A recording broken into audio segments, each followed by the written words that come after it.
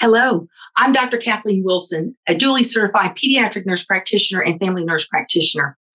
You have probably heard of the 2020 25 Dietary Guidelines for Americans, which now recommends the introduction of peanut foods.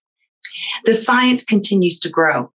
Early introduction helps prevent allergies from developing, and this means that children and families can live without the fear that comes with every bite of food. We, as nurse practitioners, are uniquely qualified in this clinical discussion because of our evidence based care and our high level of engagement and involvement with our patients and families. Nurses also continue to be considered the most trusted profession as of the most recent 2020 Gallup poll. Trust is so important with early introduction. For some parents, these guidelines will be almost a 180 degree departure from what they had been advised to do with an older child.